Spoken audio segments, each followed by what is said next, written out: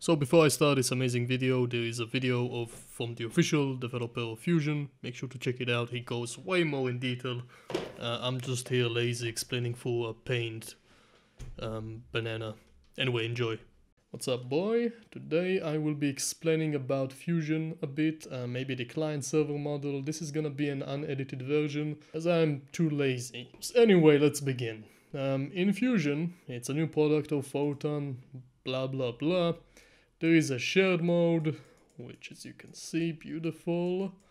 And there is the, what is it called? Host server mode, I think? Uh, you get the point, right? I'm not gonna throw it again and again. Uh, I'm gonna be talking, now I'm gonna be talking about the host server mode. Um, so let us begin. What is a client server mode? I think this is uh, the official name, uh, client server mode, client server module. So when it comes to competitive games and PC games, you will most likely want to have uh, the host server mode or client uh, server model. Yeah, you know what I'm talking about. Now, why is that? Let's imagine we have a player right here. This is a player. It's a beautiful player. I'm gonna put some hair on it. And this is another player. Now, let's say that this player is, uh, this is a racing game. And this is a car. This is also a car. This is the end of the line, right? This is the line.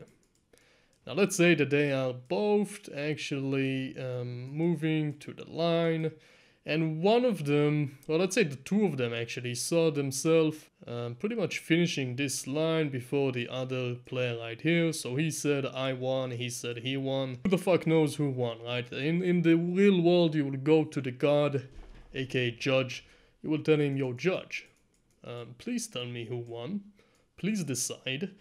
Now the judge, in this case, is uh, the server. Only the server actually knows the true state of the world, right? How can you decide in this scenario who actually passed who? I mean, this player is not the host, this player is not the server, so a host and a server is the same thing, only a host is with a player that runs the server on his machine. So anyway, this guy is a player, this guy is a player, but they are not the host, they are not the server. So who the fuck won? Who actually got first into the line? Now in order to actually solve all of this there is the server. The server knows the true state of the world. He know how it was in the past, he know how it is currently, and those players are actually in this model called clients. Right? They are clients, they are dum-dum. They can literally do nothing besides maybe requesting something from the server or sending some input to the server telling them to move. So in this scenario, when there is a server, the clients or whatnot, probably the server actually, uh, will check, well, let's see um, who actually got this guy, this guy, and he's like, I don't know, I like this guy better, let's say that this guy won. Then this guy is gonna curse me online, said I'm cheated, but uh, I definitely not. You're just lagging behind, my guy. So, um, this is why we want to have a server. You can call it a one um, uh, how, how the fuck did he say it? I saw some description on, uh, on the Discord channel, he said it really good. Uh, one single truth of source. This is a one single truth of source. There is no more than one tool. So, um, in that case, when it comes to PC games, usually not mobile games and um, not WebGL games, I think as well, um, client server mode uh, is the way to go. Again, depending on your game, honestly, it's not like the shared mode is a bad thing, definitely not. All of the players can be treated like a server, right? So the clients have state authority over their network objects. So when the client actually want to move, he doesn't have to go to the server, he pretty much moves his character by himself. If there is anything wrong and lagging and so on, who gives a fuck? I am uh, I'm calling the shots. So you can definitely um, realize with a small amount of thinking that this will not go in competitive games. Uh, imagine if any, if everyone in Counter-Strike will decide if I hated someone or not.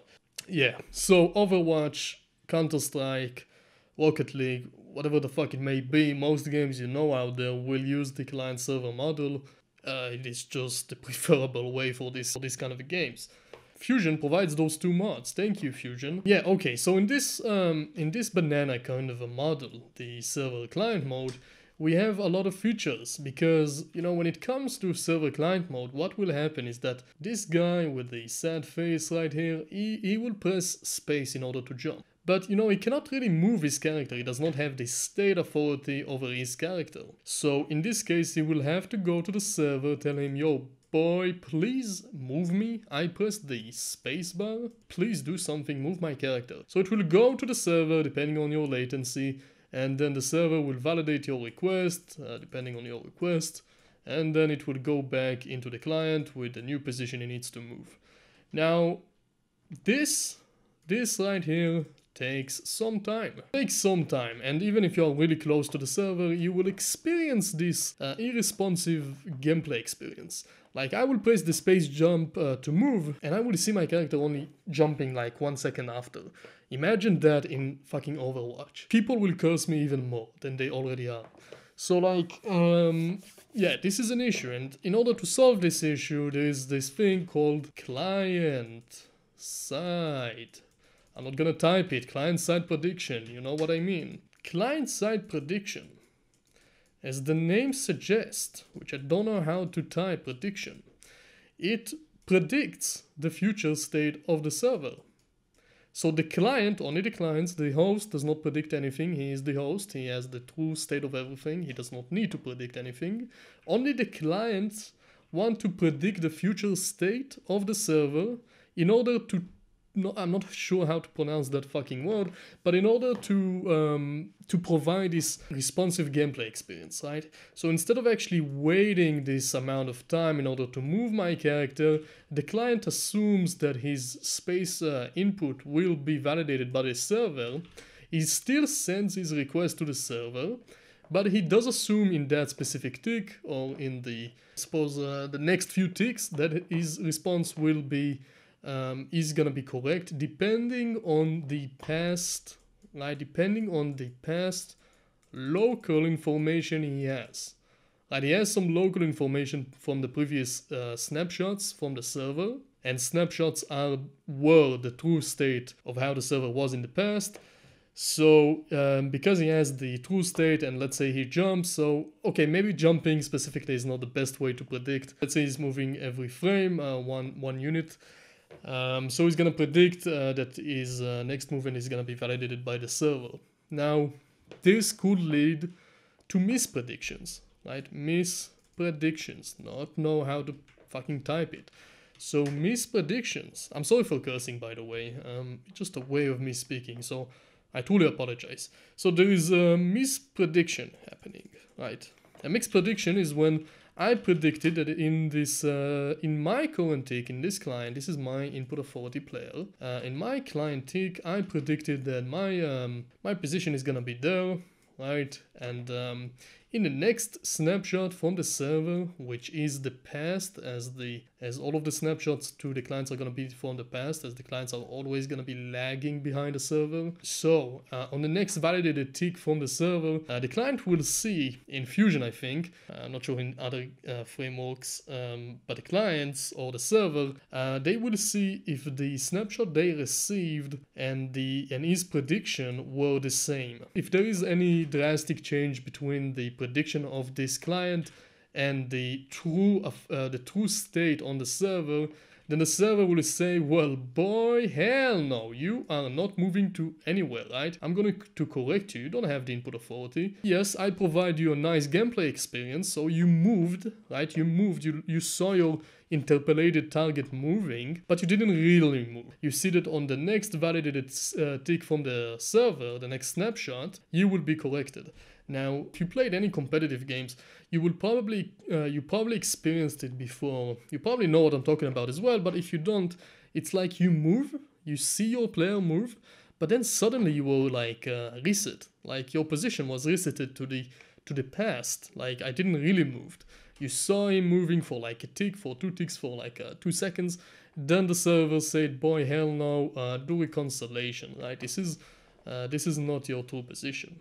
So the miss uh, the server reconciliation um, is, is a very important feature because we are doing uh, the client server model, we are doing client side prediction in order to provide a snappy, good gameplay experience. And because we are doing that, we have to have some kind of a technique to um, reconcile if we have any issues, if we have any mispredictions. Now, this, um, all of these techniques are not like fusion dependent, right? It's any client model, any client model, um, any client server model. What the fuck am I talking about? Any client server model does these things. Um, I think these techniques are like fairly, fairly old, so you can read about them online. Um, there is proxies. I know in Fusion they call them proxies. I'm not sure about other frameworks, but there is the thing called proxies. Now, I'm not sure why in Fusion docs there is no clear definition what a proxy is. I had to actually dig in in Discord channels in order to understand clearly what is a proxy. So a proxy is, is a guy that is neither the input authority or the state authority, right? So if this is my guy, this is my player, and I have the input authority, so I could actually send my input to the server, do I view my guy as a proxy? Hell no. Now let's see the other guy. Now I'm a client, I do not have also the state authority over any objects, like the state authority is always gonna be the server, unless, which I'm not sure if you can do that in Fusion, you specify that a client could have a state authority, which I'm not even sure when are you gonna be using that. But most of the time, a state authority will always gonna be like this server. So if this is a client, this is my player, the input authority, and there is another client right here, and he's not the host, this is another client, do I view him as a proxy? Hell yeah, boy, I am viewing him as a proxy because I do not have the input authority over his character, I do not have state authority over his character. This guy is a proxy. Now, why is it even too even uh, important to understand what a proxy is? You may ask. It's because we need to understand how do we interpolate uh, proxies, how do we actually view them. Uh, the way we view ourselves and the way we view proxies um, will be different. I, I, guess it does depend on, on your way you interpolate the proxies, but it most likely will be different. So Fusion provides us now, it's specifically for Fusion what I'm saying, Fusion provides us some pre-made components, um, which I um, don't remember all of them, but as you probably know, there is a network transform and a network rigid body uh, 3D or 2D, or both of them. Now, I'm not gonna be talking about the rigid body 2D, it's a bit different. The network transform, the way um, you have, you'll see in the script itself, I'm too lazy to pop it out, but uh, there is a interpolation data source. So this is the way we are going to be interpolating this visual object, right? We are interpolating everything. If you're your player, what you see, your player uh, is actually in an interpolated player uh, visuals, which were in the past, as you know, you're always going to be lagging from the server. But uh, because you're doing client-side prediction, you are interpolating uh, a prediction of yours, right? If it is set to auto, all of the input authority network objects you have, specifically now speaking, it is gonna be the player, this player, my player, is gonna be set to be predicted. But proxies, as you remember, objects that do not have input nor the state authority, will be set to snapshots. Snapshots are the true states of how the game actually was from the server. So what I view the proxies I see, they are actually in the past. This is where lag compensation comes in. Did I actually speak about it? I do not remember um, but I'll explain about it in a second. So um, what's going on? Like, why do you even need lag compensation, what it is, and so on. So if you if we view him in the past, there is a bit of an issue, and hence we actually need lag compensation, but we'll talk about it in a second. Um, now you can actually say, well, wait, I want to predict everything. So you can say instead of auto, do predicted, and you will try to predict the other client future position, rotation, and so on. Is it necessary? I mean, yes and no, depends on your game. I would say most likely no, and uh, you will have a lot of mispredictions as how you, how can you predict, for example, if a player jump. And you cannot predict if a player is going to press the space jump key, but you can try to predict his future position based on the past position he was. So you will most likely experience a lot of mispredictions, uh, depending on your error correction settings and so on. You'll see how the gameplay experience is gonna be. Um, so you can say auto, predicted, or snapshots. You can even say, well, I want to see myself doing snapshots. And you'll see that you will lose the old uh, beautiful thing called client-side prediction. You would experience the irresponsive gameplay experience I talked about. Lag compensation um, Okay, imagine a scenario. Let me clear all of this. Pain. Okay, imagine a scenario. We have a guy and uh, he has a gun, and we have another guy, he has a gun. This guy is mine put a 40, so this is my local player, and this guy is another player, uh, another client, and I view him as a proxy. The server is somewhere else, not really necessary.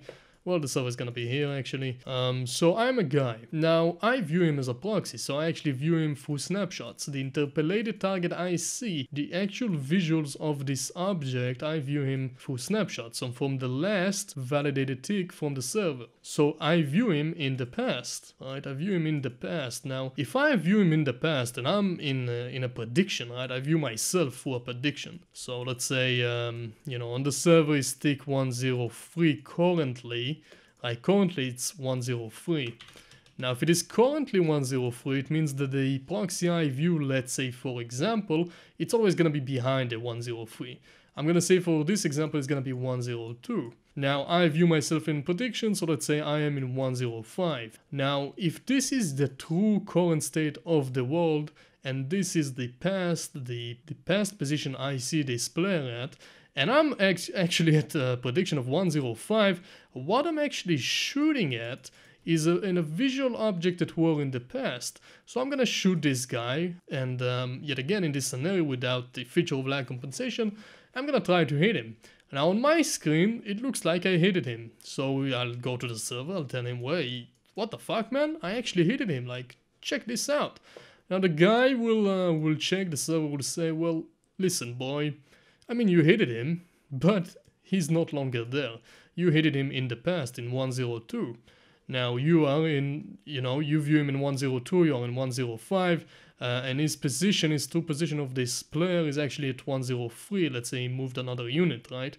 So his position already was changing. So because you're actually always viewing him in the past, how the fuck can you even hit him? Introducing the feature called lag compensation. Yeah. now, you don't really, you can't really hit the guy unless he stop moving and, you know, then you'll have like uh, so many unregistered um, hits. So like this, uh, I'm gonna curse this guy, he's gonna say lol you're a noob and so on.